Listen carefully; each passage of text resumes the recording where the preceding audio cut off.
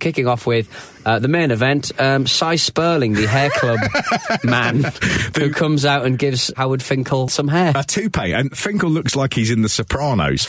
He looks great. He looks. Do you know what? I don't know what the hair club for men is. No. but Howard Finkel is bald, and whatever they do to him, he's no longer bald. Yeah. and it looks like he's just got normal hair. It's amazing. I am. I would like to join the hair club for men. You've got such rich, luxurious hair anyway. I want very hairy shoulders like Giant Gonzalez. I want a pelt that hides my Yes. genitals so they look smooth. yes. That, that toupee was absolutely worth whatever it cost. It really was. Um, uh, Oh, FanFest. oh my god! FanFest looked grubby as fuck, didn't it? Fucking hell. it looked like the most amazing thing I've ever seen. Yeah, but at the same time, like if you're into like is in a dunk tank. You can, you can. How about a Hill, Hillbilly Jim autograph? Would you like to call a match, do a sumo wrestling, pose with Paul Bearer in a coffin, host a show, and just get in the fucking ring and have a go? I had it all. It was amazing. yeah, you make it sound amazing, but then Get in a coffin with Paul Bearer. that's how that man got in trouble earlier on. But it was a hotel room. I know. I mean, there is something a bit weird about being in a in a closed coffin when With you're 12 years old with a with, a, with a 50-year-old. former genuine funeral home worker. the shots they choose to promote FanFest. Yeah. So basically, it's like an expo where you can kind of meet the stars. That's right, yeah. Get your picture taken, get your signatures or whatever, and sell some shit to kids. Basically, Yeah. one of the shots they use is Paul Bearer in a coffin, Yeah. but it's on a long lens. It's like really It far is. away. They never go, "Yeah, my Undertaker," or however they fucking talk. If it was Like, slightly worse quality footage and it had a thing at the bottom that said exclusive WBTS TV and it would then say long term abuser finally came, the coffin man. No, they the called coffin- him at the they called him Mr. Coffin. Oh, and then a man oh, comes on and goes, "Take a seat. Take a seat, Mister Bearer." Oh, I don't know what that is. I just came here for cookies. I brought cookies and condoms for no reason at all. uh, yeah, let's make it very clear that Paul Bearer, Uh, he's dead. he's dead. Yeah, it's fine. You can say what you like. Can you say that? Is that all right? Yeah, we didn't accuse him. of it. No, No. he is. He is not a All serial bearers. paedophile. That's the very least you can say about him. He is uh, uh, Spooky man. He is a legend, a WWE legend. Why how do we get in this position? It's because we talked about the grubby fan fest. But Doink the Clown getting dunked, was that actually even Doink the Clown or just a ah. subsidiary Doink the Clown? No, I mean, I mean, I shouldn't think that Matt Borne was up that early in the morning. Twelve thirty. The idea he's going to be up and showered and with the makeup on, no chance. They just paint it on him. They just give him a touch up. Oh, he's still got it on from last night. His tie looks like vomit. Oh, the FanFest looked great. My favourite bit is um, do a bit of commentary. So they've just got these little headsets, much like the ones we've got on now, and they've got a video from the thing, and they go do a bit of commentary. Podcasting. well done, them. Nowadays, they do have fan fests and things, but what they don't have is all of this. And you certainly don't just get to get in a ring. Yeah. They had like a referee and two children just fighting. Taking bumps. It looked fucking brilliant. I really, I really liked it. They've since started doing the fan fests as part of the WrestleMania weekend that they do. Right, okay, yeah. And so I went to one in Texas Yeah. with television's Alex Zane. Yes. Uh, we went there and we had a fucking blast. It was really good fun. It was it was just really nice to be there. He took a photograph of me in some oversized packaging that they use for the Legends. Oh, uh, so you can get in and be like, a, oh, okay, So right, can I get a photograph of yourself in that. Uh, we saw some matches, and then we got to speak to Superfly Jimmy Snuka. Yay! What, what did you talk about? what did you guys talk about? Alex was a girl. Yeah. So then he tried to smash his head in. um, a and little then joke there about Jimmy Snuka murdering women. There's only one concern in every human being's mind, and especially deep down in their soul. I'm here because the action that goes on here is a superior thing for individual. I love the challenge, and that's what I'm here for. And all you TV people in Wonderland. Do you feel blame?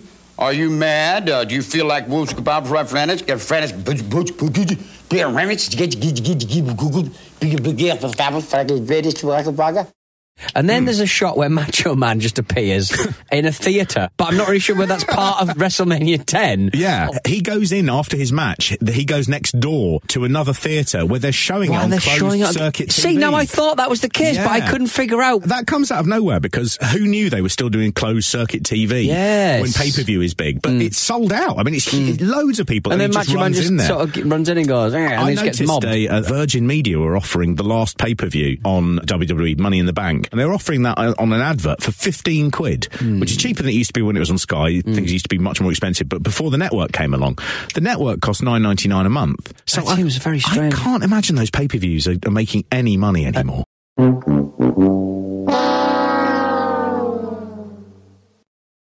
We're at the main event. Yes. Uh, it's Yokozuna versus Bret Hart for the WWF Championship. Um, they bring in the, the timekeeper is Jennie Garth from Beverly Hills 90210. yes. At the time, a huge star. Felt like a, a ooh, someone off the telly is here, someone off real telly. And then uh, Roddy Piper comes in as the guest referee. Mm, yes. um, he's pleased to be there. Um, he is. I think you know he's sort of he's sort of back. This match itself is.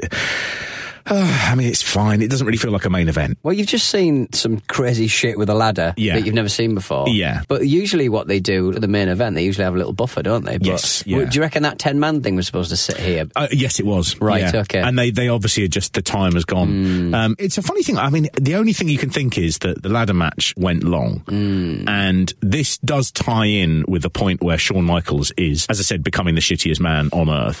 he becomes very powerful, and he becomes a real politicker. He he became so bad. Let's so ask bad. the ladder, shall we? Let's ask the ladder if that's a good idea, Vince. he becomes so bad.